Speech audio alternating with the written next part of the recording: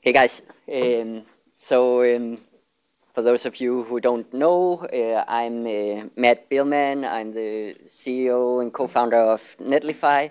Uh, Netlify is an, an automation platform that basically handles everything around publishing Jamstack sites. So just pick a GitHub repository, uh, tell us this is what I want to publish. We typically guess what kind of build tool you use, and then um, and then it automatically deploys from GitHub to our own content delivery network with nodes all over the world every time you do a push, and we'll do deploy previews and all kinds of other stuff that you can check out on netlify.com uh, at some point. Um, but that's not what I'm here to talk about today. Uh, today I'm going to talk about uh, Netlify CMS, and this will be like a, a, pretty special presentation, both because it's the first time I'm going to talk about it, and also because I don't have any slides for you or anything like that. Uh, I'm just going to show you uh, things that works. I'm going to dig a bit into the code and the abstractions uh, around it, and talk a bit about the, the philosophy of why we built it and and and and what it is. Um, so. Um, how many of you here have done work with static site generators? Okay, pretty pretty solid group. How many have done work with, with traditional CMSs like WordPress and Drupal and so on? Yeah, pretty much pretty much everybody. Um, one of the really typical flows when, when you talk about front-end developers and CMSs is that you have some, some project that maybe starts with a design where someone has some vision of how everything should look. Then it gets handed over to some front end developers that start implementing that design and building the whole front end and really typically working with, with some kind of, of, of, of mock-up framework, often maybe even a static site generator or something like CodeKit or like, and build out the whole front end. Once everything looks pixel perfect and is just just right, they really often then hand it over to this backend team that stuffs it into WordPress or Drupal and all the nice workflow around working with Git, around working with post processors and so on really often gets lost in the translation. Um, and often you start getting into a process where everything becomes more cumbersome when you want to edit the UI. You often just lose version control completely because a bunch of the design ends up living inside a database in a theme or something like that. Hey, I don't know if this sounds familiar to, to some people here, but I imagine it does.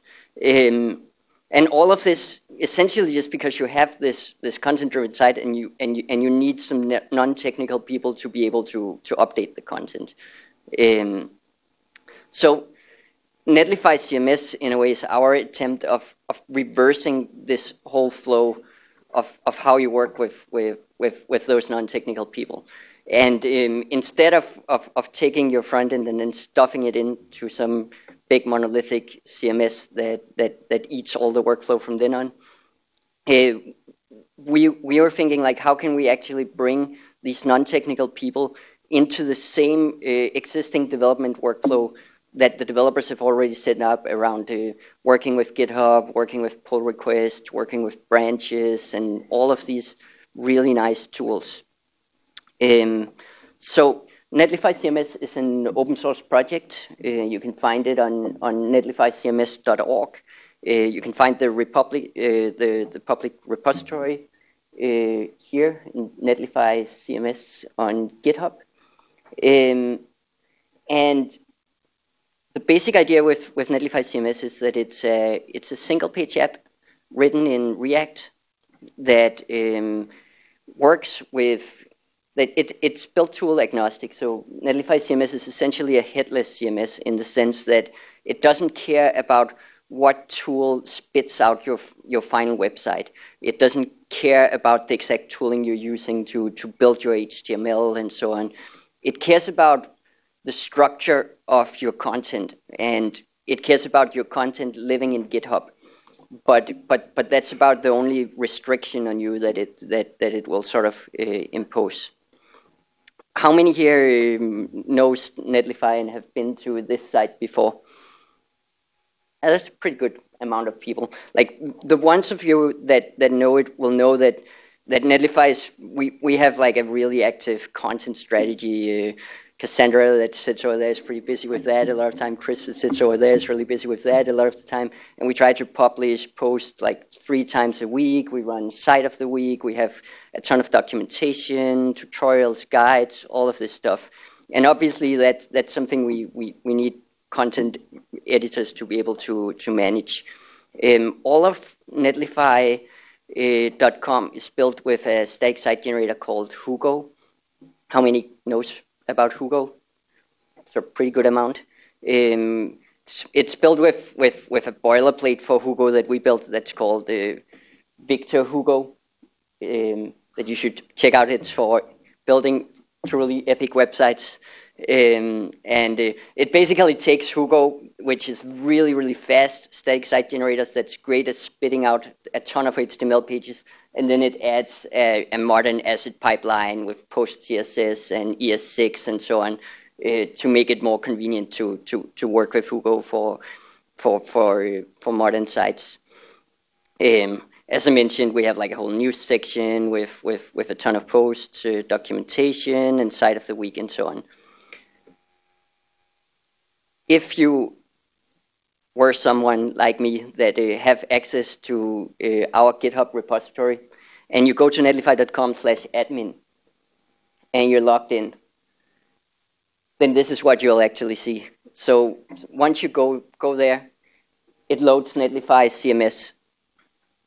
Let's see if I can get this part to fit as well. Um, so this is this is a, a, a, a relatively traditional CMS UI. Um, still some tweaks to go to look and feel and so on, but I can go in, I can find all our posts, uh, all our documentation, uh, all the sites of the week, and so on. Uh, if I yeah, yeah, that, that that's some UI changes in progress. This is this is all an, an, an open source project, and we have a ton of work ahead of us. But it's um,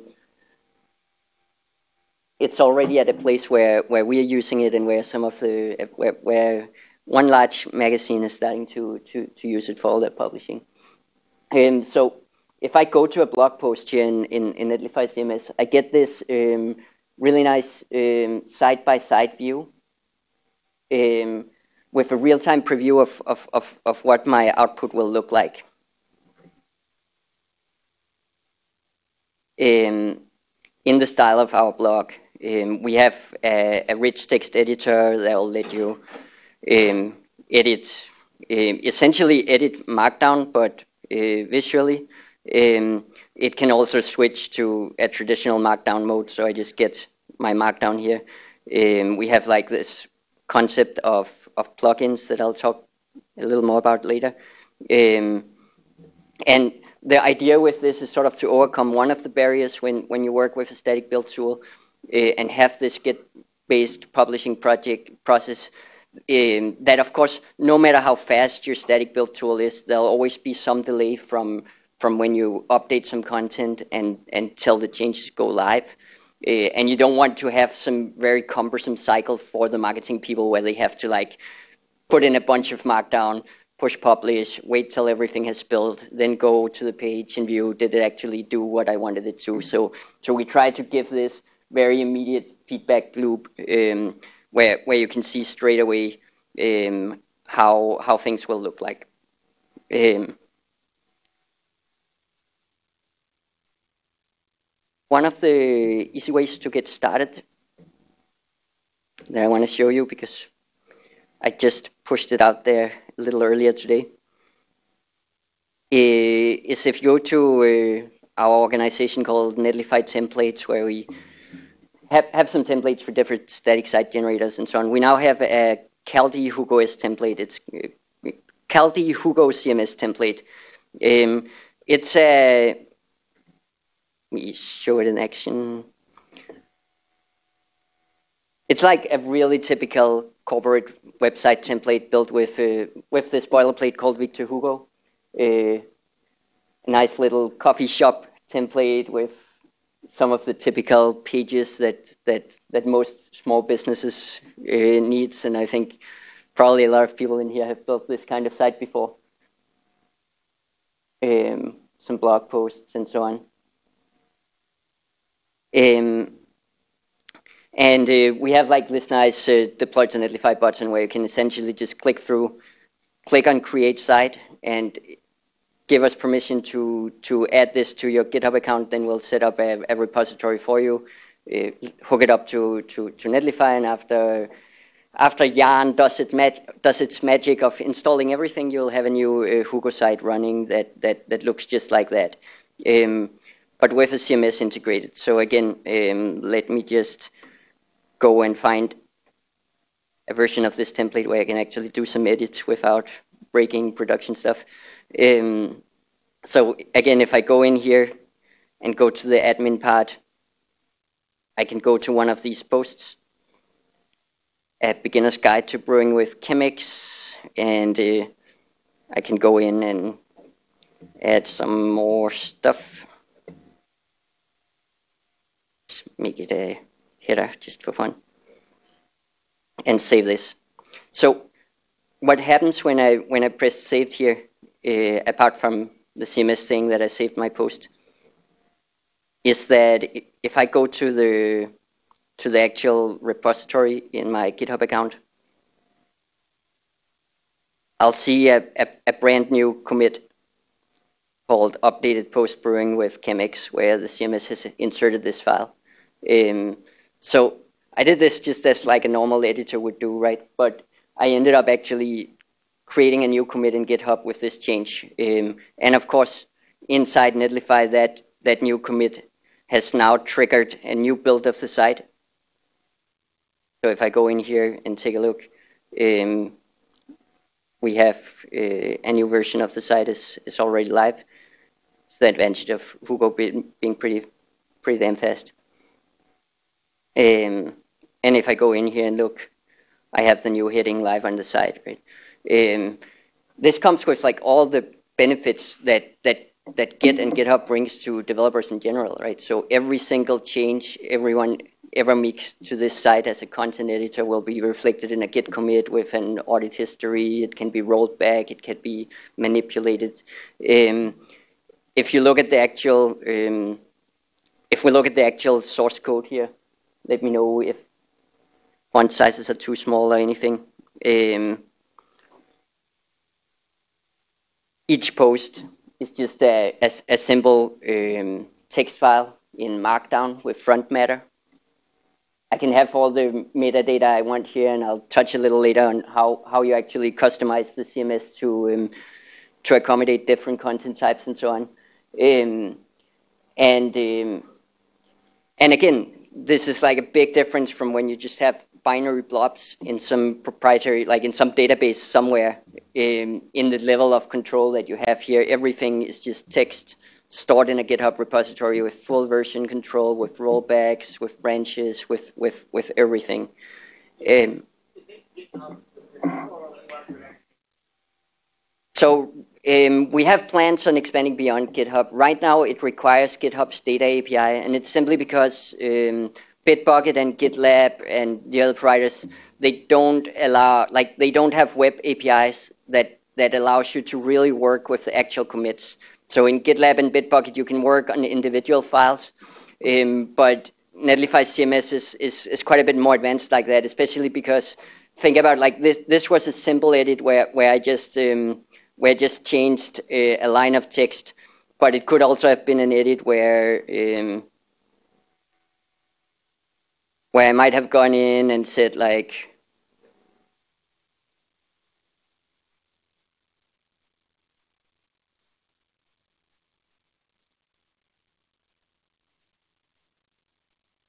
where I might have gone in and, and said this this post here obviously misses an image and I might have gone in and, and, and thought that it should definitively have an image of my cat. Um, and if I commit this, then it creates a commit together with any changes I make, together with any assets, right, as, as, as one commit because it's one edit. And, and right now in GitLab and Bitbucket, you can't actually do that um, through their APIs. Um, we are we are working on some workarounds for that, but but that's a little further out. Um, it's on the horizon though. Um, I'll also touch about like there's there's two modes the the CMS can operate on. So what you saw here is like the very simple mode where whenever I make, like whenever I save a post, it just writes to, to a specific branch and, and sends a commit there, and that triggers a new build and so on. Um, if you see the, the, the Netlify site, there's this extra step where we have this uh, initial screen called the editorial workflow. Um, and here you'll see some of the some of the secret things uh, we are about to publish some someday in the future. Sorry, Cassandra, for ruining the the surprises. Um, but um, what what this does is that um, when you activate the the editorial workflow mode, the CMS takes things one step further, and um, and actually starts every time there's an edit it will create a specific uh, feature branch and set up a pull request. So here you'll see a, a, pull request automatically generated by Netlify CMS. That's simply, again, like the, the editor just goes in and write a new post or make an edit and clicks save. And then the CMS behind the scene create a new branch, uh, a new pull request for that branch, and keeps track of a bit of metadata. So uh, once I go into the CMS as an editor and click publish now. Um, instead of in, instead of just auto like it will first try to just auto merge the pull request, but if there is some merge conflict, it'll use the metadata about what files did did this edit actually pertain to to do an, an a specific merge that just says like the editor that merged this wanted to have these files in this state and and again, just to make sure that, that normal non-technical content editors never have to think about like dealing with merge conflicts and so on, because good luck with that. Um, and so, so how does this work? um, if you look at this site, that, that this this is like the, the simple template I, I described before. Uh, Victor Hugo is structured in a word in, in a way where there's a site folder um, that has um, the whole Hugo site basically, and then there's a source folder that has the whole asset pipeline stuff like the JavaScript, the CSS, and so on. It just applies Webpack to part of it and uh, Hugo to another part of it. Um, and all it essentially takes to, to integrate the CMS in a, pro- in a project is, uh, is two files. So one is just a little index file for the admin area. So this is basically just the index file that loads when I go here to, to the admin page. Uh, and it's like a super typical single page app uh, index page with no content. It loads as cms.js and, and that's it. Um, you can either load the cms.js straight from, from unpkg.com, which is like a, a CDN for NPM packages, um, that's useful if you're doing like a really simple integration in, in a tool where you don't have an asset pipeline. So if you're like integrating into a plain Hugo install or out of the box Jekyll install or anything like that, then that's useful. But for more advanced installs, you'll typically want to take advantage of the fact that you probably already have a, a, a modern asset pipeline and, and you will use the CMS in a slightly different way that I'll show. Then the other part of the integration is a config.yml. So this is a YAML file that uh, that that essentially the most meaty part of it is in describing the content structure of your website. And here's like the core abstraction of, of Netlify CMS. And that's the concept of, of collections. So all the content that Netlify CMS manages is grouped into collections. And right now, collections can be persisted in two different ways that are both shown here. So one type of collection is a collection that's persisted in a specific folder. And that basically just like you'll use that whenever in your Git repository you have a bunch of similar files with the same type of content in a folder. So in this case, it's like all the posts, they are all Markdown with YAML front matter, uh, and they're stored in the folder site content post. Um, the other core abstraction here is the concept of fields, right? So for this collection, we have a set of field. We have a title field, a color field that I should remove because uh, I'm just playing around, uh, a published date field, and a little intro blurb, an image, and a body. And there's sort of no no specific constraints of what kind of fields you can have or anything. But the most important most important thing to notice with it, each field is that each field has an associated widget. The widget is is is what determines that like the content editor what kind of input, like what kind of UI should we give to that content editor? What kind of validation should we run on it? What what what controls the input essentially, right? Uh, here we have a string, we have a date time. So let me just go back to the demo side. If I go to a post, um, I have a date time here, and I can go in and it's a little date widget. This is just a string widget. Um, the intro blurb is just a plain text widget. Um, the image is obviously an, an image field. I filled out one of those.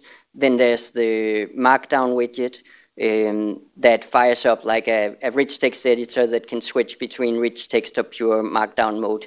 Uh, the rich text part is, is based on ProseMirror, uh, which is a, a, a, a really interesting open source project. It's still a little rough, um, but we are also putting some work into to, to polishing it. But it's like after evaluating all the sort of next generation rich text editors, this this this is, in my opinion, the most promising project made by the same guy that made uh, CodeMirror, which is integrated in Firebug and Google DevTools and so on. So he has a lot of experience in in in in all the craziness of trying to implement some kind of rich text editing in a browser, which, yeah, I could talk for a long time about how crazy that is.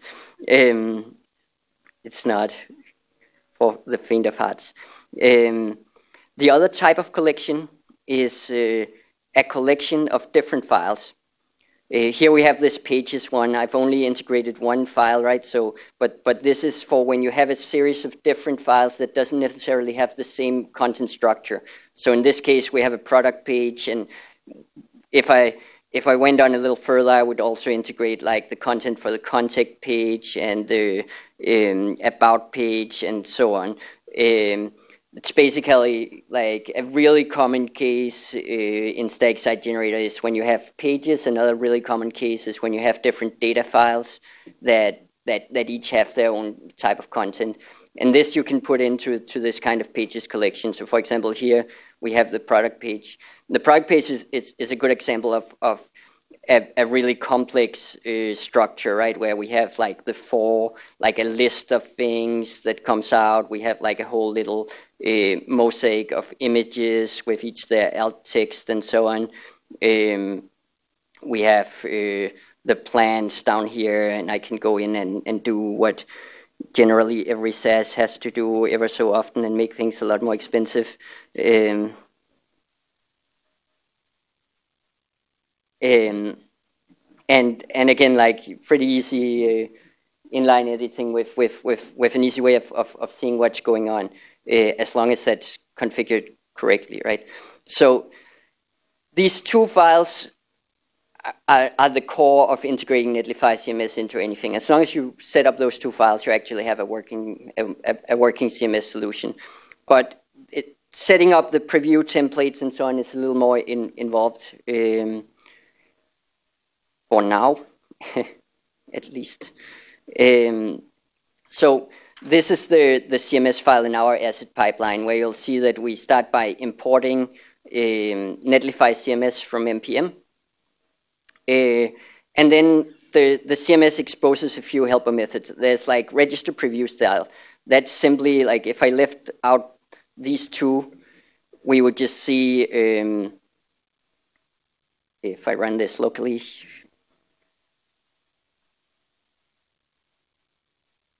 we would see like the bare bones preview templates that just has like the structure, but uh, with without any specific uh, any specific markup, um, but just with the the styles from our app. Um, then there's the register preview template. So since the since the CMS is is, is made in um, in React, each of these preview templates um, for different content types. They're just a, a, a, React component. And there's sort of no, no constraints on how that component can be or what you can put in there. And like in some cases, it, it might be very simple. In some cases, you might have uh, also interesting composites of, of a piece of content that's not exactly um, like how it would be like on, on a page, for example, um, whenever I preview a, a, a, blog post in Netlify, it will also show in the preview like how will this blog post look like as a thumbnail and stuff like that. So it's not like a one-to-one necessarily of of the actual template for content like that. There's oft, often some details around like the the different fields in this. How how do we want to see them? Um, if we take a look at the at the post preview templates, you can just see here it's like a typical, how, how many here are familiar with React? Pretty good, pretty good amount. So, so React is, is based on this idea of JSX, or I mean, typically you'll use it with JSX unless you're very masochistic, um, and uh, and it essentially just write lets you write HTML with the change that you have to call class class name. Um, and um, and and this is like even if you don't know React, it's very easy to just look at it as a templating language, right? Like you're you're just returning some HTML and saying, okay, here I want the title, here I want to format the date like this, and here I want the the, the body. Um, the, the CMS internally works with immutable data structures, with immutable JS. So the main property you have in that preview component is an entry, which is an immutable object that has uh, some fields like the slug and so on that identifies which entry it is, and then the meat of it is all in the data part where all the, the, the, the custom attributes for your content type is, and you can just use them in, in the preview to show this. So this this this this just gives a very high degree of flexibility in how your previews can can can work and look like, and this essentially like if if you have some control of, of, of React, you can you can do anything. Um, another uh, another part is is this idea of widgets, right? So um, on the left side here we have. Uh, let me just go back to the demo side here. So on the left here we we have these different uh, widgets. Each widget is consists of at least one React component, which is the widget control, and optionally a preview component. For example, the Markdown widget has a special preview component that you can say, like in your preview template, give me the preview component for this for this widget. Since obviously in the preview template you don't want to show just the raw Markdown. You typically want to show how the Markdown looks like once it's been processed. Um, it, it's been very like when as, as we've been built this CMS, it's been really important for us to think about making it really extensible, because that's like once you're an agency or something like that, and you're working with clients, uh, you need to know that when the client asks for something very specific, your answer is never like, "Oh, my tool doesn't do that." Um, it's it's always like, "This will cost you a lot of money," um, or at least some money so um, one of the one of the extension points is the idea of, of custom widgets. Um, so if I go into um, to my YAML file here and add back this this line about a color and say, okay, so now I want each post uh, in my in my site to have a color. Uh, it should be stored in the front matter with the name color, and it should use the widget color. And now I ask that, and and now their now the CMS will say, I don't have any widget for color. Like, sorry, I, I just don't know what to do with it. So um, that's something we can solve. So I can go in and say register widget color, and then I just have to give it a, a React component for inputting a color. So I um, just as in cookie shows, I cheated a little and. Uh, prepared my color in advance. And so I'm going to add this little color control. And again, it's just a little React component. Um, very trivial for, for, for people that know React. It looks at a value and uh, when when there's changes, it changes the value. I think we might want to also give it some uh, something like this. And here we go.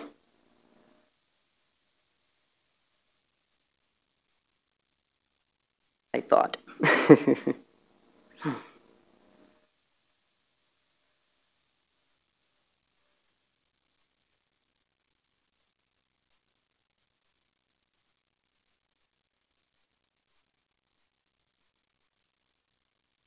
Let me see if I have an error. No. Okay, obviously that didn't work as intended. um, normally I would get now a, a, little widget. I'm sure I made a, a, a typo. Um, sorry? I don't think there's any. Ah, yeah, okay, you're totally right. Um, of course, in order to, to process JSX, I, I need to actually import React. And I should listen to Kyle. okay, here we go. We have a color widget. And, and now we can start using colors. And if I want to, I can go into uh, my post template uh, and I can start uh,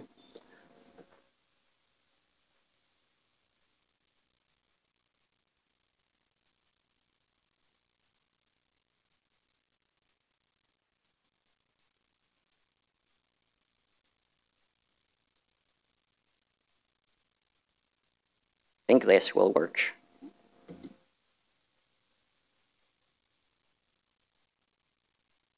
Start accessing this color attribute and, and, and give people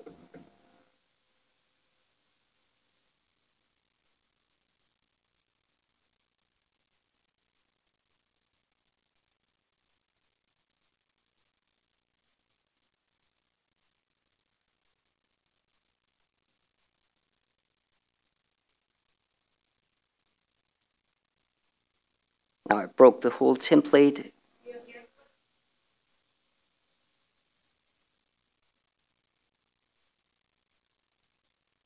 Here we go. Let's see if we actually get colors. Yeah, here we go. So this is like a really simple widget, but it's easy to imagine like more more complex widgets. Imagine you have like an an input field for an address where you want to actually have a a widget that integrates with Google Maps, so they can put it in. Imagine you like it's it's pretty much only your imagination that limits what you can do with with with these kind of widgets. And and any widget you write is just a, a completely normal React component um, and and and pretty easy to to deal with. There's more details to this. You can you can control uh, validations that a widget should should do. Uh, you can control uh, the the preview output and so on, right? But but this is this is the basics of it. One other thing that, that I won't touch a lot on, but that's the concept of uh, editor widgets.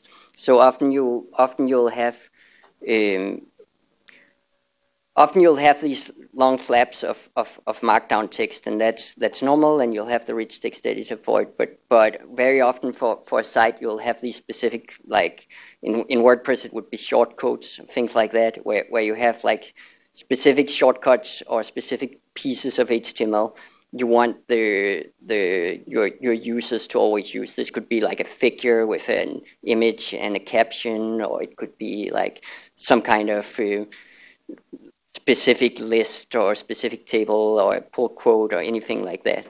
Um, one little example of this is just like a built-in image component where you can set an image and an alt text, right? Like pretty, pretty stupid. I'll use my cat again.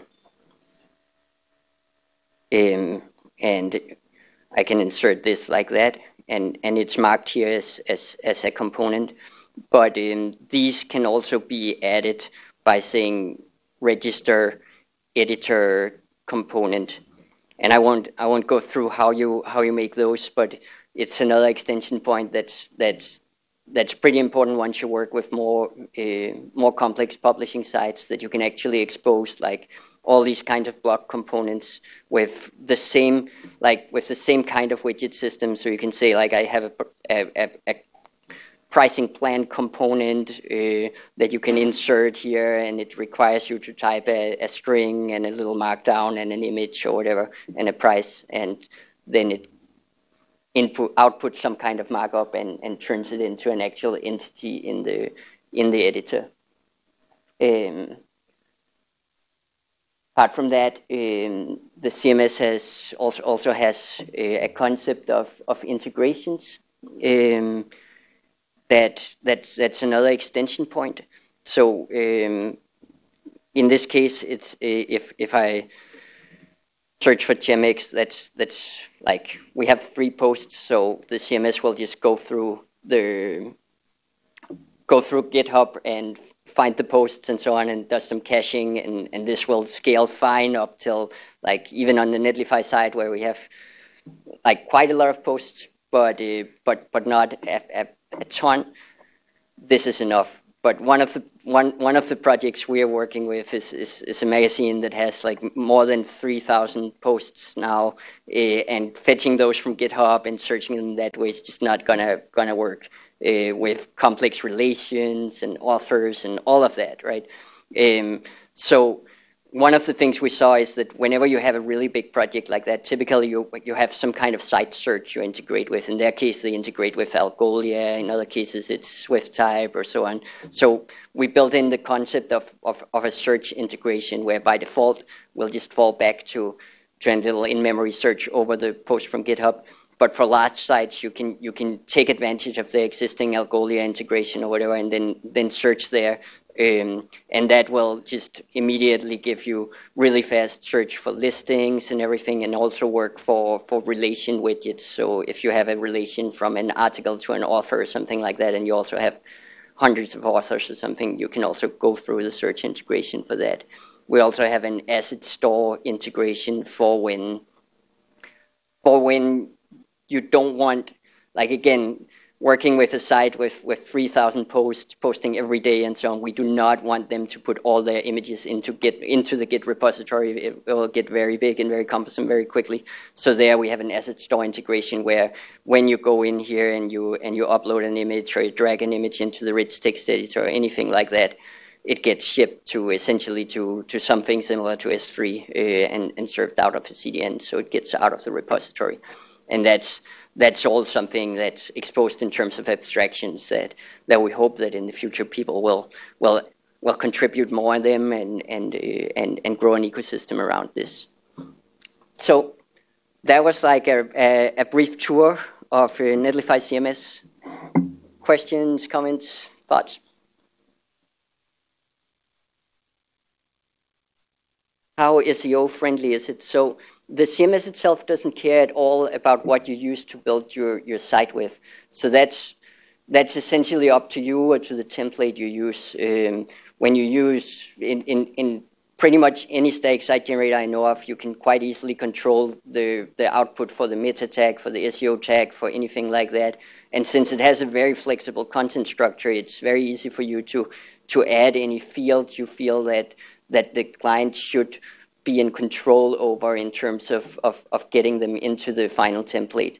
Um, so um, ideally, as like as as as SEO friendly as you want, with the added bonus that that that these kind of sites are typically many many times faster than traditional dynamic sites, which is something that that that Google weights in their PageRank algorithm today.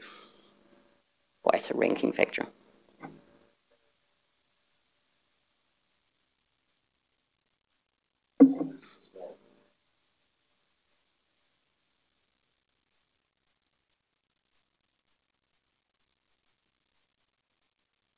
Yeah, we saw like so. The question was around all the other headless CMSs like Contentful or Siteleaf or or um, DatoCMS and so on.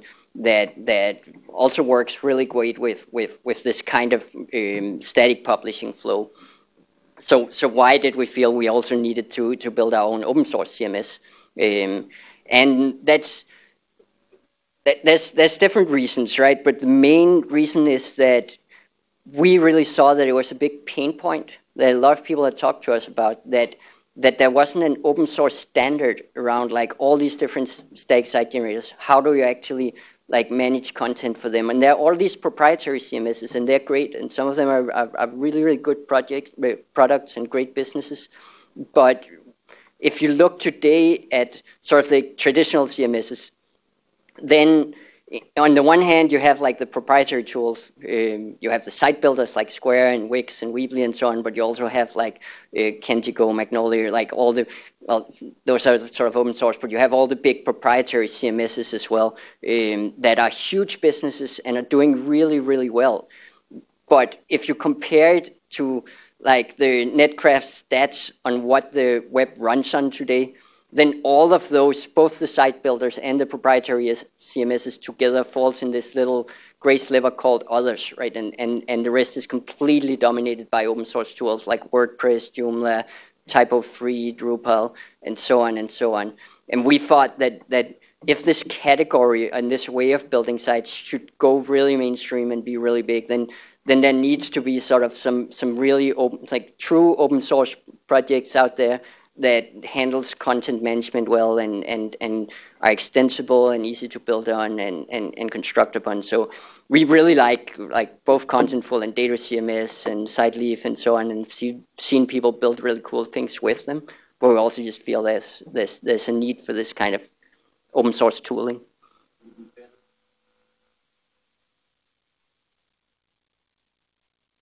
Yeah, absolutely, absolutely.